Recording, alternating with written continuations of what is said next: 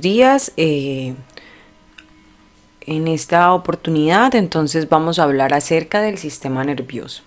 ¿Listo? Entonces, eh, para entender que es un sistema es importante tener claro que la base de todo, de todo organismo eh, son las células. ¿Sí? Entonces, la reunión de células va a formar tejidos y esa reunión de tejidos entonces va a formar órganos y los órganos en funcionamiento de forma sincronizada, poniéndose de acuerdo entre ellos, entonces va a formar un sistema. ¿Listo?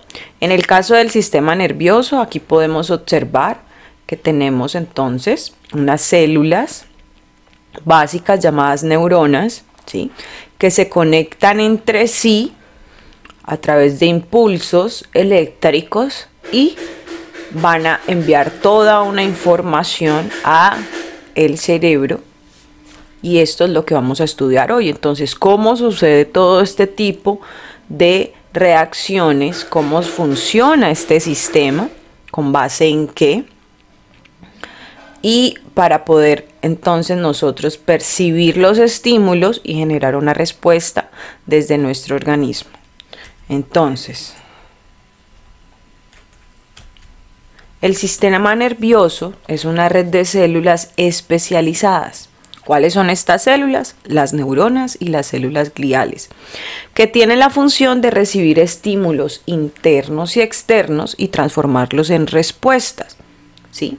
Aquí podemos ver entonces que tenemos las células que pertenecen al sistema nervioso, observemos bien, tienen dendritas, axón, el cuerpo celular y las, los terminales nerviosos. Y entonces aquí tenemos otro tipo de célula con células satélites, células de Schwann, el axón, ¿sí? Entonces, y el cuerpo celular. Entonces, ¿cómo podemos diferenciar una neurona de una célula glial? Bueno, primero la función de la neurona.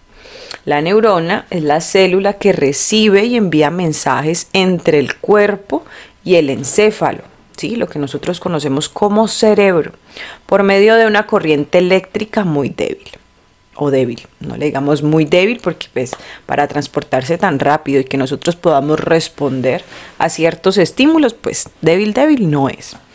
Y las otras entonces son las células gliales que tienen como función el sostén del sistema nervioso. Le podemos llamar pegamento neural, pegamento entre las neuronas, o neuroglía. Tienen una importante función trófica y metabólica activa, ya que permiten la comunicación e integración de las redes neuronales. Entonces uno dice, ¿cómo así? Pues resulta que para que el sistema nervioso funcione tiene, tener, tiene que tener unos canales de comunicación muy efectivos. Continuamente estamos recibiendo estímulos, continuamente debemos generar unas respuestas, a veces consciente, a veces inconscientemente. Entonces, todo eso es gracias a estas dos células. Entonces, si nosotros observamos esta gráfica, ponle un número. Esto sería una célula glial o una neurona. Entonces, un segundo para ponerle un número. Y esta entonces, célula glial o neurona. Según las partes, según su estructura y según lo que acabamos de definir, que parece que tuviera más pegamento y que parece que transportara mensajes. Entonces, para mí, la que, la que transporta más mensajes, pues tenemos esta de aquí. Listo, tiene dendritas, tiene terminales nerviosas por donde puede que entren y salgan las señales. Y pues la de acá simplemente tiene más como más eh, tejido con respecto a, mm, a, las, a, su, a su función de pegamento neural. Entonces tenemos que esto es una célula glial y esto es una neurona. Listo. ¿Cuál crees tú que es la función principal del sistema nervioso? O sea, ¿para qué yo necesito mi sistema nervioso? ¿Qué pasa si mi sistema nervioso no funciona? Entonces, la función principal de mi sistema nervioso es autorregularte. ¿sí? O autorregularme. Es él es el que tiene los sensores para saber, de cierta manera, cuándo estoy en equilibrio, cuándo estoy alterada, cuándo estoy estresada, ¿sí? Cuando estoy tranquila. Y entonces, asimismo, va a reaccionar. Junto con el sistema endocrino es el que se encarga de dirigir las acciones orgánicas que permiten mantener una relativa constancia en la composición y las propiedades del medio interno de un organismo. Y uno dice, ¿cuál es la composición de un organismo? Pues resulta que dentro de nuestro organismo hay reacciones continuamente, hay consumo de energía, hay consumo de oxígeno, hay consumo de agua, ¿sí? Hay respuesta a ciertos estímulos, entonces de eso se encarga el sistema nervioso en conjunto con el sistema endocrino. ¿Cómo podemos eh, identificar la organización del sistema nervioso? Bueno, el sistema nervioso se divide en dos sistemas, el sistema nervioso periférico y el sistema nervioso central. ¿sí? Entonces aquí podemos ver el sistema nervioso periférico, que tiene que ver con todo lo, lo por donde recibimos el estímulo, ¿sí? ganglios y nervios, que van desde la médula espinal y se extienden hasta nuestros brazos eh, y nuestro cuerpo. Listo. Y el sistema nervioso central entonces es el director, conformado por el encéfalo y la médula espinal. Entonces, el sistema nervioso periférico pues, se puede dividir en tres sistemas más por sus especialidades. Entonces tenemos al sistema nervioso autónomo, que puede ser el parasimpático o el simpático, que tienen dos funciones, eh, una contrarresta a la otra. Por ejemplo, el sistema nervioso simpático, ese es el que se encarga de activarse cuando estamos en situaciones de estrés o excitación. ¿Sí? Entonces, ¿qué le pasa al cuerpo cuando estamos en situaciones de estrés, excitación, se siente en peligro, siente miedo, en fin? Pues hay, hay dilatación de pupilas, se inhibe la salivación, eh, se relajan los bronquios, se aumenta el ritmo cardíaco, o sea, nuestro corazón empieza a latir más rápido. Definitivamente se nos elimina el hambre, o sea, es como si el estómago diga, dice, no, no quiero nada, estoy alterado.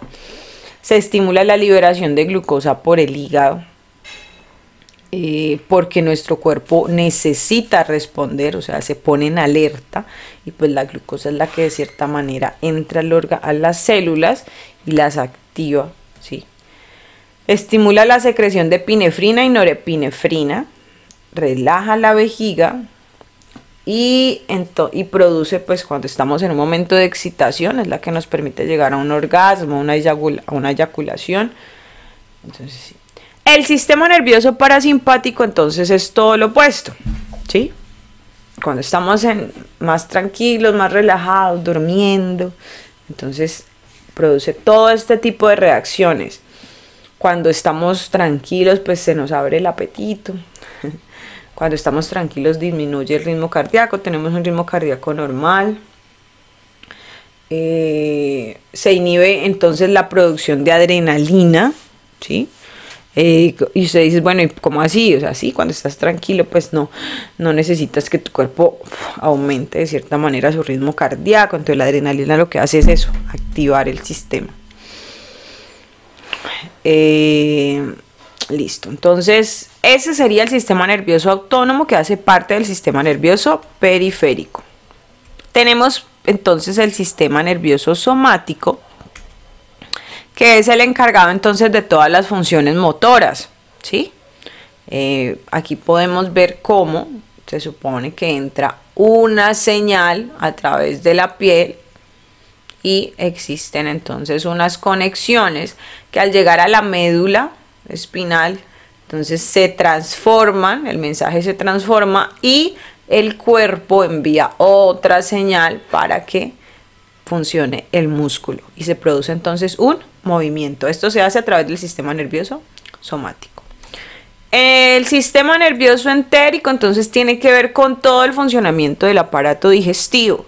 Sí, o sea, nosotros aunque no los percatemos, el sistema, el sistema digestivo continuamente requiere movimiento, estimulación, eh, inhibición, ¿sí?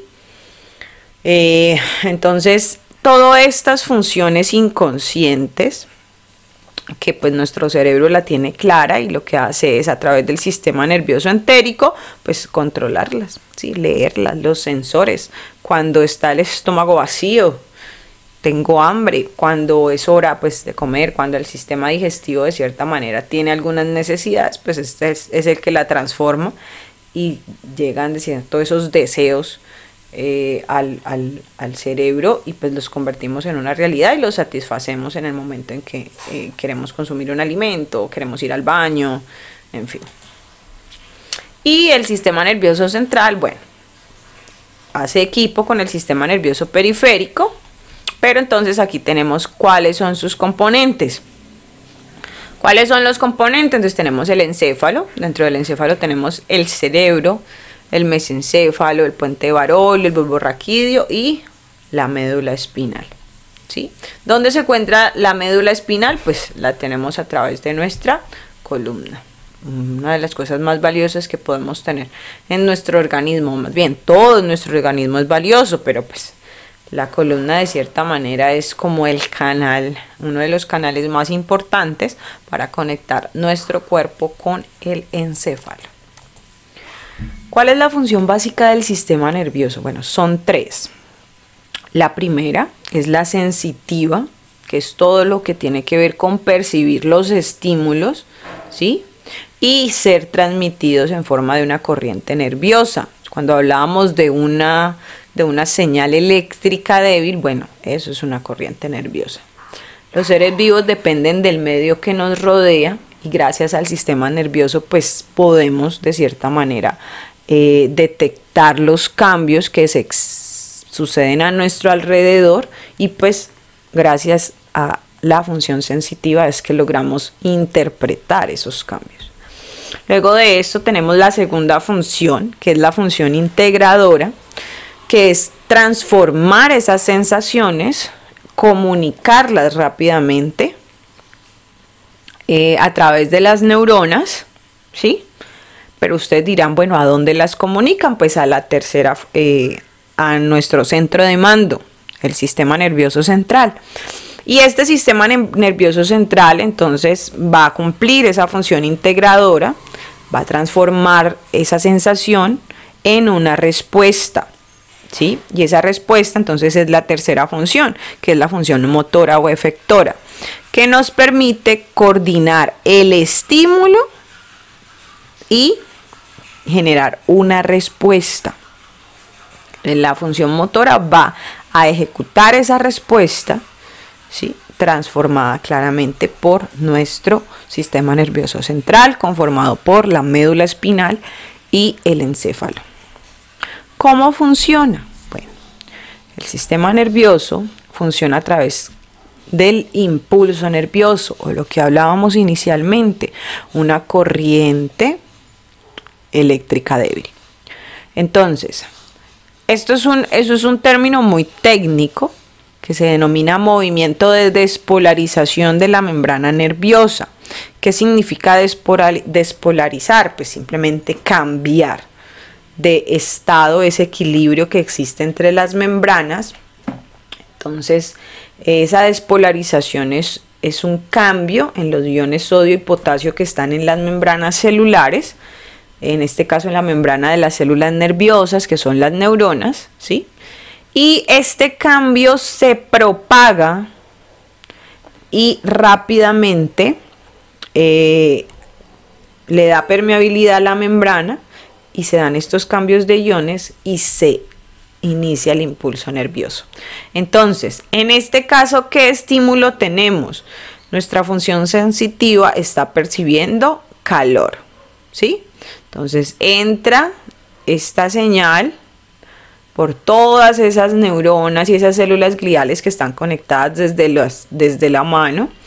Llega a la médula espinal y la médula espinal inmediatamente la transporta al cerebro, ¿sí? entendiendo entonces nuestro cerebro que es calor, peligro y automáticamente envía una señal de respuesta, eh, convirtiéndose entonces en un movimiento ¿sí? de un músculo, retirando entonces la mano de nuestro estímulo porque pues nos puede hacer daño. ¿Listo? Entonces, así funciona un impulso nervioso. Así de rápido. Cuando pones la mano en algo caliente, inmediatamente la retiras. Eso es un impulso nervioso. El impulso nervioso se transmite de una neurona a otra por medio de la sinapsis. Ustedes dirán, ¿qué es la sinapsis? Entonces, inicialmente les mostraba que existe un espacio mediante el cual se comunican las neuronas. Entonces, aquí podemos observarlo. Este espacio se denomina sinapsis, ¿sí?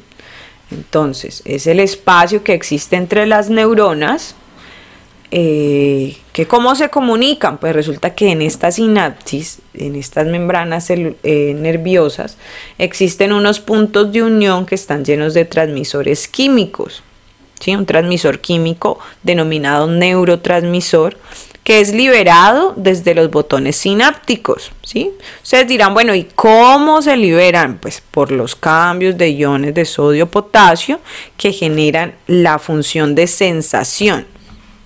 Cuando ponemos entonces la mano en algo caliente, hay una sensación que va a generar una respuesta, pero esto se transporta a través de estos espacios, ¿sí? Teniendo presente los neurotransmisores y los cambios. ¿Cómo se transportan los impulsos nerviosos? Entonces aquí podemos ver, ¿sí? ¿Esto qué es? Una neurona, un cuerpo celular con un axón con unas terminales nerviosas y unas dendritas. Y aquí podemos observar que nos están tratando de mostrar unos pequeños, eh, unas pequeñas señales o impulsos eléctricos. Entonces, ¿cómo se transportan los impulsos nerviosos? A través de las neuronas y las células gliales que las acompañan, ¿sí? Eh, enviando señales a través de los espacios sinápticos. ¿Listo? Existen diferentes tipos de neuronas eh, debido a las funciones y debido a las formas también. Entonces, por ejemplo, si nosotros tenemos una función motoneuro, eh, una función de enviar impulsos nerviosos, ¿sí? A los músculos para generar una respuesta que puede ser voluntaria e involuntaria, pues entonces estas neuronas se denominan motoneuronas. Si la neurona como tal se encarga de enviar información de todos los órganos sensoriales al sistema nervioso central para ser procesados, pues son neuronas sensoriales. Pues, ¿cuáles son esas neuronas sensoriales más comunes? Pues la vista, el oído, el tacto, el olfato y el gusto. Inmediatamente cuando nosotros abrimos nuestros ojos en la mañana, pues entonces activamos nuestra neurona sensorial cuando eh, percibimos los sonidos, activamos nuestra neurona sensorial eh, al palmar, al tocar, al escribir, entonces activamos estas neuronas. Y tenemos entonces las que se conectan exclusivamente con otras neuronas, son esos puentes, ¿sí? Eh, entre neuronas, creando extensas redes neurológicas para procesos. ¿Cuáles son los procesos más comunes? Procesos mentales, los, procesos más complejos, lo que estamos haciendo en este momento. En este momento tenemos todas nuestras interneuronas activas porque estamos tratando de enlazar todas estas palabras que están recibiendo nuestros oídos y las estamos tratando de transformar en conocimiento significativo, en aprendizaje. Entonces, esas son las interneuronas. Cuando hablamos de la forma de las neuronas, entonces aquí podemos ver que existen unipolares, bipolares, pseudo unipolares y multipolares. Entonces, eh, simples, conocimiento técnico, ¿sí? Las unipolares son las que tienen una sola prolongación que se utiliza como axón y como dendrita.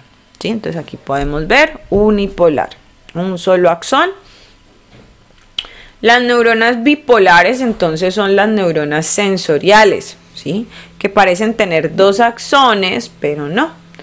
Por uno tienen entonces eh, las dendritas, mírenlas acá, dendritas mm,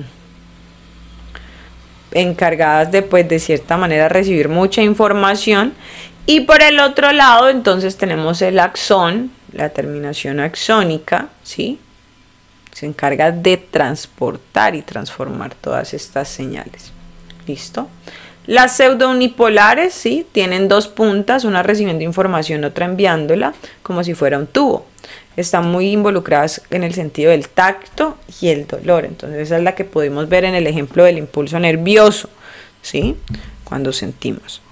Y las neuronas multipolares presentan dendritas en el soma y en el axón. Se pueden separar en dos grupos dependiendo pues de la longitud del axón.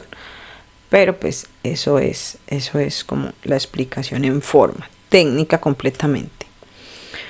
Ahora, para las células gliales, neuroglías o células eh, que realizan eh, la función de comunicación, ¿sí? Entonces, existen diferentes tipos. Tenemos las células epidemiales, los oligodendrocitos, las células satélites, que están presentes en el sistema nervioso periférico, las células de Schwann y en el sistema nervioso central, entonces tenemos astrocitos, microglías, oligodendrocitos. Eh, como les digo, estos son términos técnicos y podemos encontrar la definición de sus funciones sino que el tiempo es corto para el video. Entonces, estas neuroglías son las encargadas de darle sostén, ¿sí? La defensa y otras funciones al sistema nervioso. Entonces, aquí definimos algunas. Listo. ¿Quién comanda todo este barco? Pensemos un momento, o sea, ¿quién lo dirige? Ya lo hemos nombrado anteriormente, ¿sí? Nuestro cerebro. Entonces, cada cosa que nosotros consumamos de cierta manera va a alimentar este cerebro o lo va a desnutrir, ¿sí? Y él te está viendo. Entonces, el cerebro o encéfalo, o sea, el término técnico es encéfalo, nosotros le llamamos cerebro. El encéfalo eh, hace parte del llamado sistema nervioso central, ¿sí? tiene una corteza cerebral que se ha venido desarrollando, paso de, cierta manera de, los cambios de los organismos vivos, ¿sí? Y en los seres humanos ha asumido las más importantes actividades de integración del sistema nervioso. ¿Cómo así? Sí, o sea, nuestra corteza cerebral es la que se encarga de transformar, de leer, de integrar todas estas sensaciones que llegan desde el sistema nervioso periférico, ¿sí? Es el centro transmisor de numerosas acciones inconscientes. Y ustedes dirán, ¿cuáles acciones inconscientes? Pues resulta que mientras ustedes están durmiendo, nuestro cuerpo pues no queda en paro, sino que sigue con sus funciones. Y esas acciones inconscientes pues están reguladas por, el, por la corteza cerebral. ¿Listo? Entonces aquí podemos ver identificado los sentidos, cómo están relacionados con el encéfalo. Entonces tenemos en, el lóbulo frontal, entre el lóbulo frontal, el lóbulo temporal, el lóbulo parietal, tenemos entonces el gusto, ¿sí? En un surco central tenemos el tacto.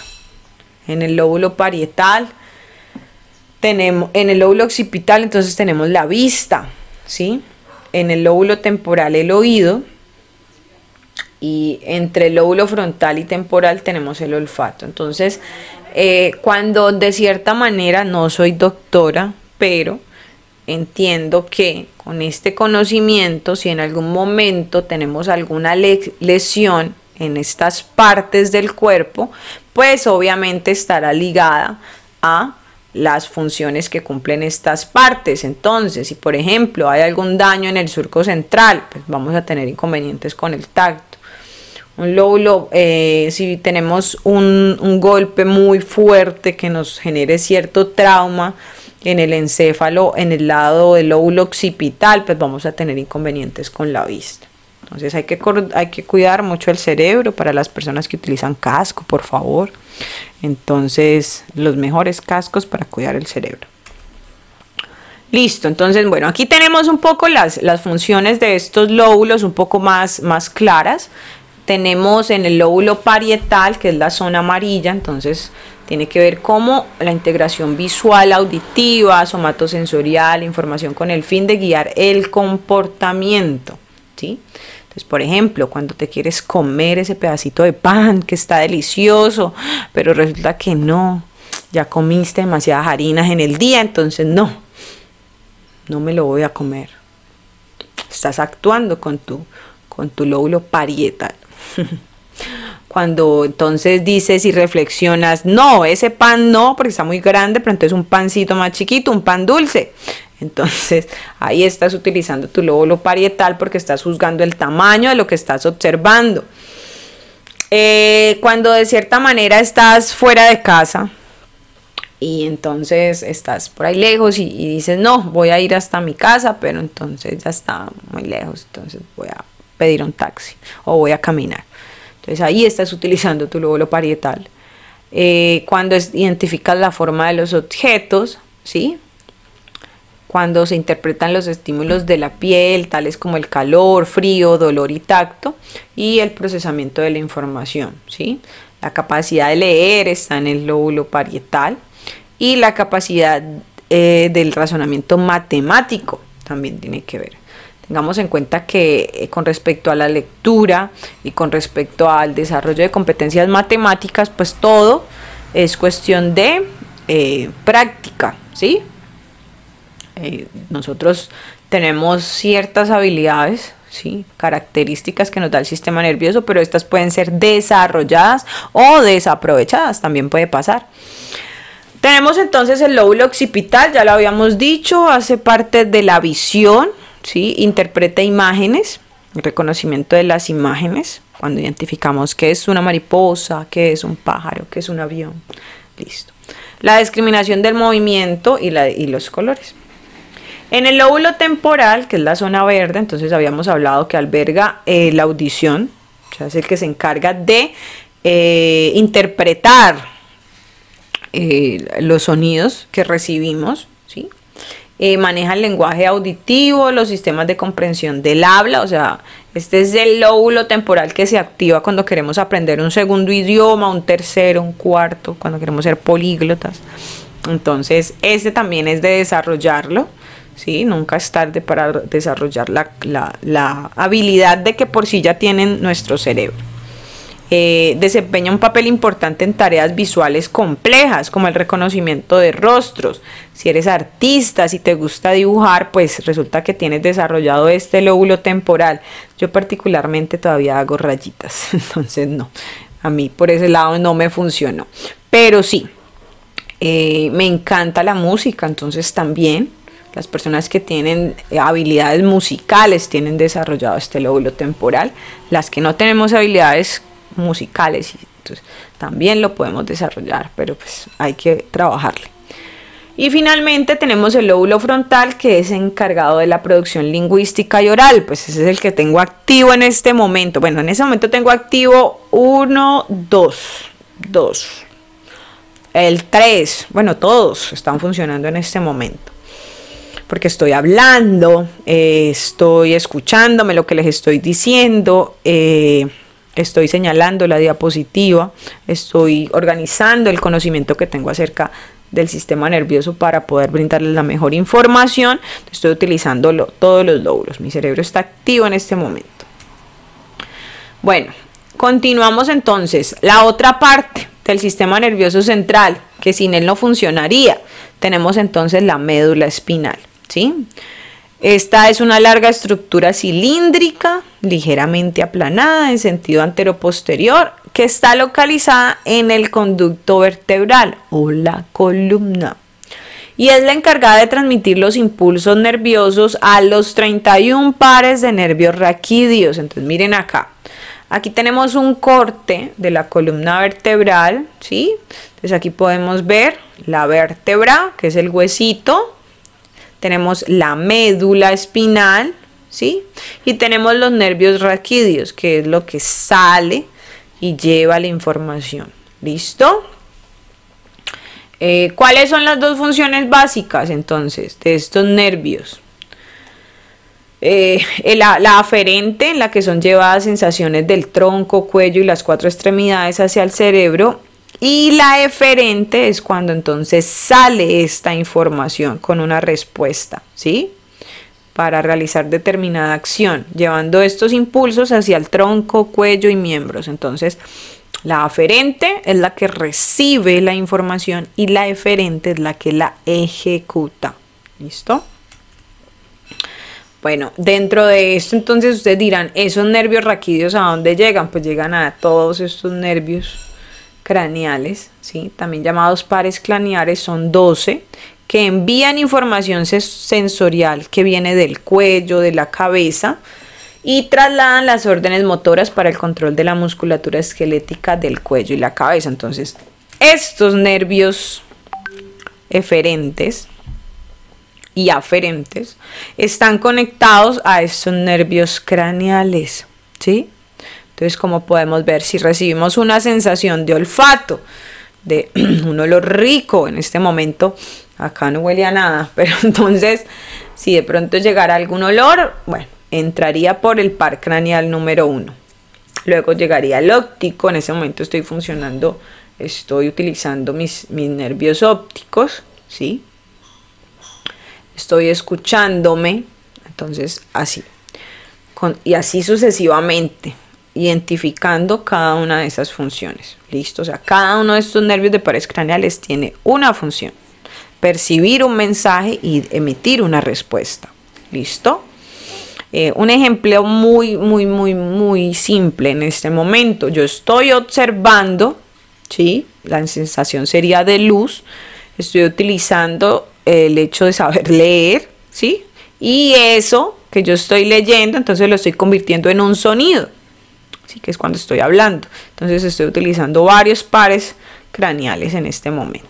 ¿Listo? Entonces aquí tenemos un poquito más eh, dibujadito estas funciones. Nervio craneal 1 transmite impulsos olfatorios.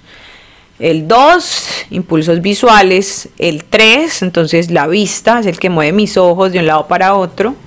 Eh, tenemos entonces el 4, también tiene que ver con los músculos oculomotores. El quinto, el movimiento de mi cara. Por ejemplo, si yo este nervio lo tuviera atrofiado, pues no pudiera hacer movimientos eh, gesticulares en el momento de hablar. ¿sí? Mm.